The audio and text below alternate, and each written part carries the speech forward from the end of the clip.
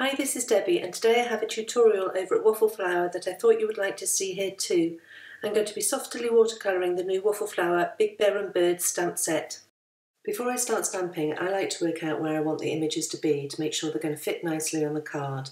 So I've placed a piece of five and a half by four and a quarter watercolour card into the mini MISTI and I've placed the Big Bear and Bird in the middle with the two plant sprays going either side the bear's going to hold the present and then I'm going to have the sentiment underneath. For now I've removed the present and the sentiment and I'm going to stamp the big bear and bird and the two plant sprays. I've closed the door of the MISTI to pick up the stamps where I'd aligned them and then I'm going to stamp them in some antique linen distress ink. This ink will give me an outline to work with but because it is both light in colour and reacts with water and as I start watercolouring the ink will blend into the paint to give a no-line watercolour look. Once I stamped the image, I could see where the outline was, but it wasn't very clear, so I decided I was going to stamp it again to make sure that I had a clear outline to work with. And that's one of the benefits of having a stamp positioning tool such as the MISTI, is that you can stamp an image multiple times to make sure you get a good impression. I've lined up the present so it looks like the bear's holding it, and I've stamped that again in antique linen distress ink, and I've also added the little heart images coming from the top of the bird there. If you've not checked out Big Bear and Bird before, I highly recommend that you do. This is their Instagram feed, and as you can see, it's filled with beautifully softly watercoloured images with muted tones, and I wanted to capture that feel in my painting today. When you first get some new watercolours, it's a good idea to experiment with what other colours you can make from the colours that you've got. And I created a grid using just 12 watercolours, and as you can see, by combining two colours in different amounts, you can get a whole rainbow of other colours which can act as a reference point when choosing a colour for your painting. Normally my watercolour palette mixing area is covered in paint. I don't clean it up, it's lovely and messy and I love it like that. And I just, when I want to start a new colour, I just pick a spot and start mixing. And normally I keep my mixing palette off to the side off screen. However, I have had some requests to see me mixing colours and so I've cleaned up the palette today to start with a blank slate and I'm starting to mix up the colour for the bear. From my colour chart I picked out that I like the mixture of ivory black with yellow ochre to give a muted brown that I thought would go well for painting the bear. I'm going to start by painting an outline of the brown around the edge of the bear and then blend that in with water towards the centre. I'm using a small brush, this is a Winsor & Newton Series 7 size 00 and I find that helpful particularly when you're colouring in the smaller areas such as the leaves and flowers. I will be going over this area several times and adding deeper shadows However, already you can see that the antique linen distress ink is starting to blend into the watercolour to give that no-line watercolour look. I'm going to speed this video up because I think it took me about an hour to paint this card and that's too long a video to share with you here. But just so you know, this is sped up four times faster than real time speed. I'm working my way around the edge of the bear, adding the paint towards the edge and then blending in with the water dotting back in paint along the edges so that you're getting that deeper area around the edge with a lovely blending in towards the centre. I'm trying to find that balance between getting some depth and detail into the watercolouring while still getting that softly muted watercolour look of the Big Bear and Bird style. I've just added some Daniel Smith quinacridone coral for the cheeks, starting to build up some overly rosy cheeks.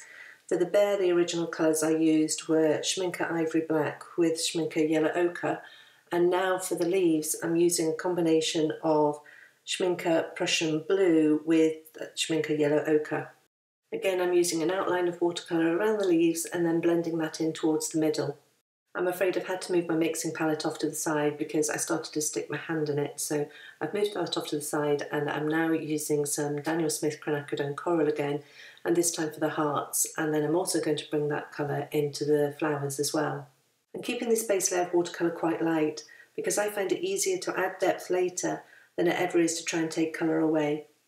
For this second type of flower I'm adding a dilute mix of yellow ochre and I'm finding that as the paint is drying that everything is drying back quite pale and so I'm going to go back in and add some extra depth with another layer of watercolour over the top of everything. So I'm going to start with the leaves and I'm bringing in again the Prussian blue mixed with yellow ochre and giving a quick second layer to add some more depth. I've also added a second layer of quinacridone coral to the pink flowers and I'm now coming in with a much deeper outline to the bear and blending that in towards the middle again.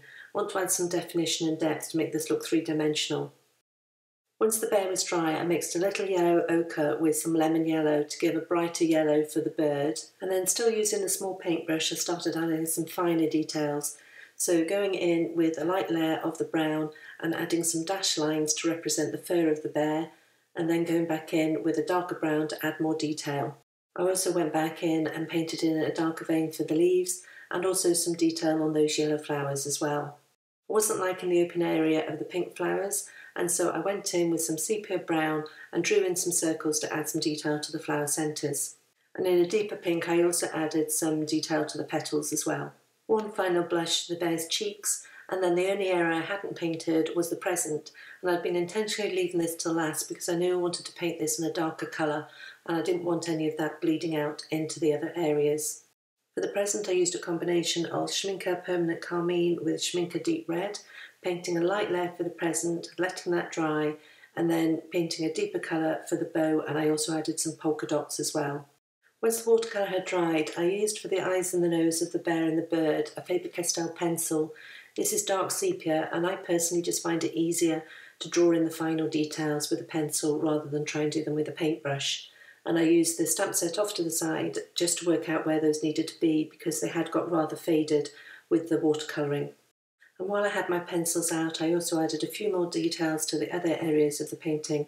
A little shadow to the bird, I think that's with yellowish green, I think that pencil's called, and some um, dark red for the present polka dots just to make those more defined. I've placed watercolour back into the Mini MISTI now that it's dry and I'm going to stamp the sentiment. I'm using stone ink from So Stamp. I didn't want a black ink and thought that that would be too dark so I picked out this nice muted browny grey which I thought went well with the rest of the colours. I think I stamped the sentiment three times to make sure that it was nice and clear and easily legible and then I trimmed off a little from each side of the watercoloured piece so that I could mount it onto a five and a half by four and a quarter card and still have a visible border all the way around the outside. I've scored and folded a Neenah Desert Storm card base and then I've added lots of foam adhesive to the back of the watercolour panel so that once I attach it to the card it will keep it nice and flat. And that completes this card in the softly watercolour style of Big Bear and Bird. I'll leave links in the YouTube description below to the products that I've used today as well as a link to the coordinating blog post over at limedoodledesign.com. I want to thank you for joining me today and if you've enjoyed this tutorial I'd be delighted if you'd subscribe to this channel. Thanks and I'll see you next time.